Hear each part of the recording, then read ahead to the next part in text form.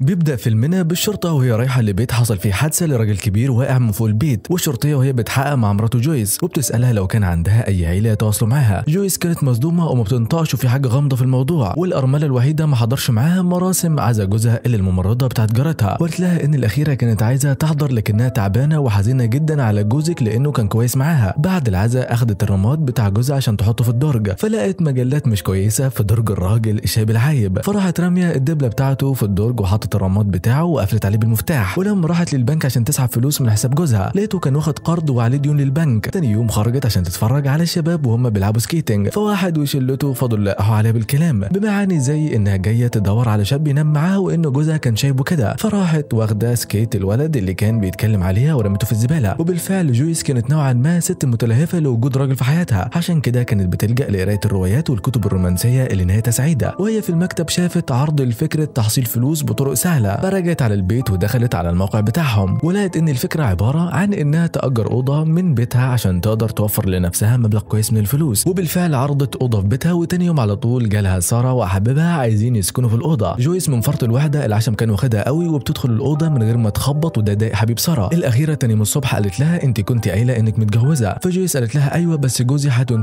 من حوالي شهر. فسارة عرضت عليها إنهم يخرجوا يتمشوا مع بعض وأثناء مشيهم ضربينهم كلام. جويس قالت فيه إن جوزها وقع من فوق البيت ومش عارفين هو اتزحلق ولا جات له سكتة قلبية قبل ما يقع. ولما سارة سألتها لو كان عندها أولاد قالت لها لا. وغيرت الموضوع وسألت سارة عن سبب وجودها في المنطقة بتاعتهم. فسارة قالت لها إنها جات للمكان عشان المكان هادي وده هيساعدها على تأليف الكتاب بتاعها. سارة قالت لجويس إن حبيبها قاسي في مشاعره وجاف جدا في التعامل معاها معظم الوقت وده عامل لها مشاكل في حياتها. فجويس قالت لها اعذريني يا سارة لكن أنا من ساعة ما شفته وأنا مش طايقاه. فقالت لها مفيش مشكلة لأن ده نفس الكلام اللي أمي كانت هتقوله عنه لو كانت موجودة. وبدأت تتكلم عن أمها وأبوها اللي حياتهم انتهت وإنها كانت قريبة من أمها وبيتكلموا مع بعض كتير. وبعد ما خلصت كلامه فضفضة شجرت جويس إنها سمعت لها تفضفض بالكلام. ولما رجعوا للبيت جويس قالت لسارة أنت سألتيني لو كان عندي أولاد. أنا عملت كل حاجة عشان أخلف يكون عندي أولاد لكن الموضوع ما نجحش. في الوقت ده دخل حبيب سارة وقال لها لمي الشنط عشان نمشي من هنا. أنا لقيت مكان أحسن من ده وسارة كانت محرجة من جويس. ولكن الأخيرة قالت لها تروح مع حبيبها من غير مشاكل. وسارة قبل ما تمشي ودعت جويس بحضن الأرملة الوحيدة كانت في امس الحاجة ليه.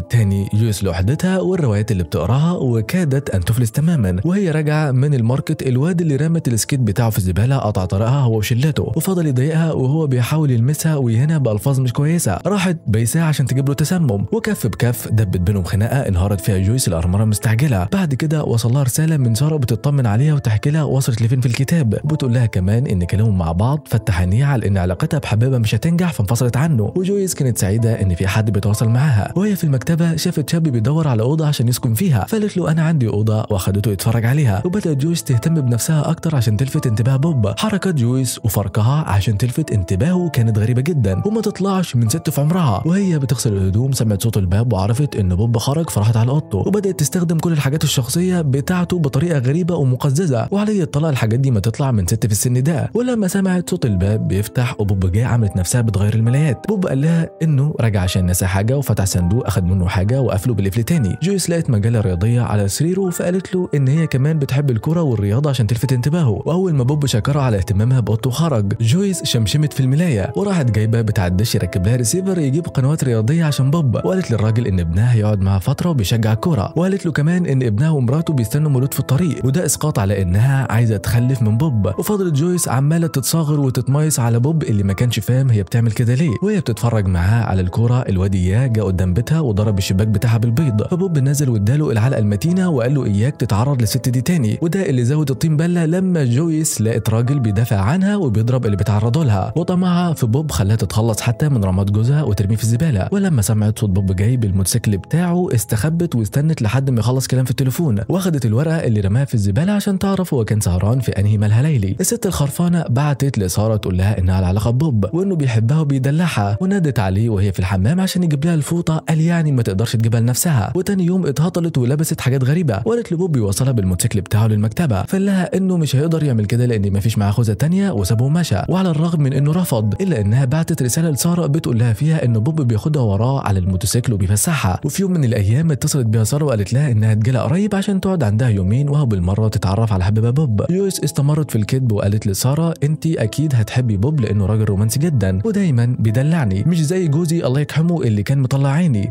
وبرضه بوظ شبابي وخلاها بواقي شوك ناشف وقالت لها كمان إن جوزها كان بيضربها وحياتها معاه كانت جحيم. فساره قالت لها أنت ما قلتليش ده قبل كده. فجويس قالت لها ما رضيتش أشغلك بمشاكلي؟ وساره قالت لها تقدري تحكي لي أي حاجة أنت عايزاها. سارة بالصدفة شافت بوب وقالت له إنها صاحبة جويس فقال لها يبقى أنت أكيد سارة. فقالت له هي حكت لك عني زي ما دايما بتحكي لي عنك. فبوب استغرب ليه جويس بتتكلم معاها عنه. في الوقت ده جت جويس ولما حبت تغير الكلام وقالت لها أنا هعمل لك أكل لأنك أكيد جعانة. سارة قالت لها إيه رأيك لو نخرج أنا وأنت النهارده لوحدنا؟ فجويس قالت لها أنا بسهر كل يوم مع حبيبي بوب بالليل ولكن سارة اصرت على خروجهم مع بعض. فجويس اقترحت عليها الملهى اللي بيروح له بوب. وقالت لها إن هي وبوب بيسهروا مع بعض هنا دايما. ولما دخلت الملهى سألت واحدة من الشغالين وقالت لها في شاب طويل وأسمر بيسوق موتوسيكل. الست قالت لها خلي بالك من بوب لأنه زير ستات وكل يوم معاه واحدة شكل. وجويس اتصدمت من كلامها. ثاني يوم لما سارة سمعته بيتخانق في التليفون وراحت تطمن لمح لها بأنه عايز يدوجس بوجس معاها. فسابته ومشيت. وفي نفس اليوم ده بالليل وهي نايمة سمعت صوت دوشة في المطبخ فطلعت عشان تطمن. فلقت بوب بيكسر تلج عشان متخانق ومتعور في وشه وساعدته. وهوب double kick شقلطها والمساعدة البريئة قلبت لقله أدب ودوجس بوجس بوب طلع من عند سارة بيتسحب عشان جويس ما تسمعوش لكنها كانت مستخبية وشافت كل حاجة. بوب تاني يوم معاملته لسارة بقت ألطف وجويس ما كانتش طايقاها فدلقت عليها العصير من الغيرة. ورمت لهم المنديل وسابتهم وخرجت فسارة خرجت وراها عشان تفهم مالها. سارة قالت لجويس أنا عايزة أتكلم معاكي عن بوب وأعرف انت تعرفيه كويس ولا لأ. فجويس قالت لها أنا أعرفه كويس لكن بعد نومك معاه امبارح أنت أكيد تعرفيه أحسن مني دلوقتي.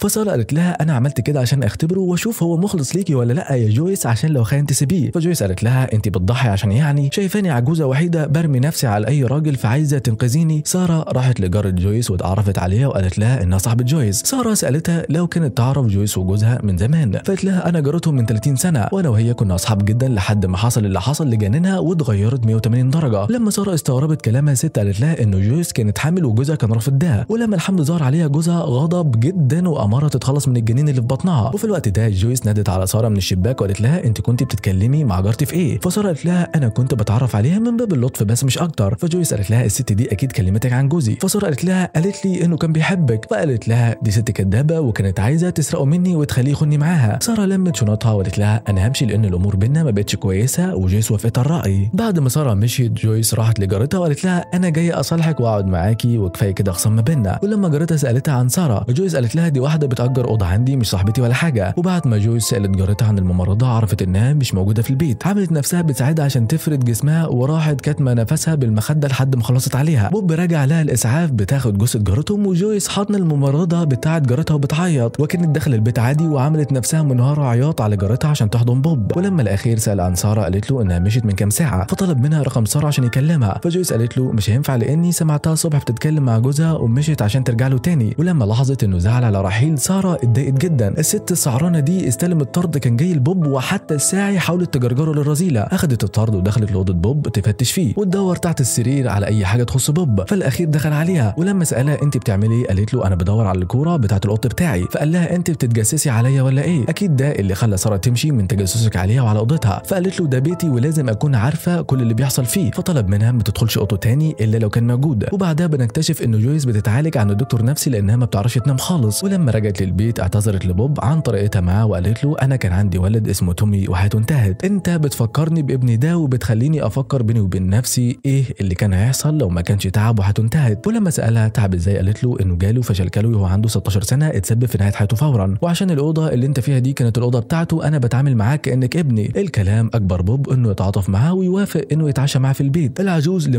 حطت له مخدر في المشروب بتاعه لحد ما فقد الوعي تماما. وراحت واخدة المفاتيح بتاعته وفاتحه الصندوق ولقت جوه الصندوق بودرة شمتها كلها. علت معاها حالة السعران اللي عندها. وراحت مجرجرة بوب منيمه على الأرض ولفت إيديها على رقبتها وقالت له خليك حاضني كده. أنا هفضل دايما بيلكك طول ما أنت معايا. بوب ما صحيش غير تاني يوم وأزاز الخمر حواليه ولما سأل عن اللي حصل. جويس قالت له أنت فضلت تشرب لحد ما وقعت مكانك ونمت لحد دلوقتي. في اليوم اللي بعده جت رسالة لبوب وجويس كانت عايزة تستلمها لكن الساعي رفض. وقال إنه لازم يستلمها بنفسه. ولما سألت بوب عن أهمية الرسالة عشان يتشدد عليها كده قال لها لما افتحها هبقى أعرف وسابها ومشى. عشان تفهم وما تحشرش مناخيرها معاه. بعد ما قرا الرسالة قال لها إنه هيمشي من الأوضة بتاعتها. فقالت له هتمشي ليه؟ هو حصل حاجة؟ ما تمشيش وهعمل لك الأكل اللي كان بيحبه تومي. فقال لها بمناسبة تومي هو ليه ما فيش أي صورة لابنك موجودة في البيت؟ قالت له لأني مش عايزة أتألم بذكراه طول الوقت. فقال لها تومي مين يا بنت المجانين أنت؟ الرسالة اللي جات لي كانت من سارة وحكت لي فيها كل حاجة عرفتها من جارتك. فجويس راحت وراه بالطاسة ونزلت على دماغه ضرب لحد ما خلصت عليه. واخدت الرسالة اللي بعتها سارة وعرفت منها إن سارة حامل من بوب وهو كمان راح يعيش معاها. فاتكلمت مع جثة بوب وقالت له إن سارة كده هتولد طفلها ويعيشوا من غير أب وحياتهم هتكون صعبة. فحفرت حفرة كبيرة ولقت فلوس كتير في الصندوق بتاع بوب. وراحت حاطة جثة بوب جوه الصندوق الخشب وسحبها لحد الحفرة وردمت عليه. وكمان باعت الموتوسيكل بتاعه وبدأت تتجهز للسفر عشان ترفع عن نفسها. وبعتت لسارة تقعد في بيتها مع القط بتاعها لحد ما هي ترجع من السفر. ولما سارة سألت عن جارتهم قالت لها ان حياتها انتهت ولا كأن هي اللي مخلصة عليها. ولما سألت عن بوب جويس قالت لها ما أعرفش عنه حاجة. جات له رسالة وبعدها على طول مشى وساب البيت لكنه أكيد هيرجع تاني لأن أنا قلت له إنك هترجعي تاني للبيت وكان فرحان جدا. ولما دخلت مع جويس جوه لقيتها زرعت شجرة جديدة وكانت فاكرة إن ده علامة خير وإنها استقرت نفسيا. وما تعرفش إن تحت الشجرة دي شاب مسكين اتورط مع حرمة سعرانة خلصت عليه بطاسة. بعد ما جويس ركبت العربية عشان تروح للمطار سارة دخلت للبيت وحاولت تفتح الأوضة اللي كان فيها بوب لكن الأوضة دي كانت مقفولة بالمفتاح وكان جواها تجهيزات للمولود الجديد. وجويس كاتبه جدتك بتحبك وده اسقاط إنها بتعتبر اللي في بطن سارة يعتبر حفادها. فهل هتسيب سارة تعيش بعد ما تخلف. ده اللي انتهى عليه الفيلم قبل ما يوضحه. والأحداث كلها تخليك تشك أو بالأحرى تتأكد إن جويس هي اللي رمت جوزها من فوق البيت وخلصت عليه. ولحد هنا يكون انتهى ملخصنا النهارده. ولكن السؤال اللي بيطرح نفسه وبقوة هل الوحدة ممكن تعمل كده في الإنسان؟ هل الوحدة ممكن تخلي الإنسان يتحول من شخص بريء لمجرم وتخليه يعمل حاجات ما كانش يتوقع نهائي انه ممكن يعملها أو يقدم عليها؟ يا ريت تشاركونا في الكومنتات عشان نتناقش عن قضية الفيلم مع بعض. فما تنسوش تدوسوا like وتشتركوا في القناة. والسلام عليكم ورحمة الله وبركاته.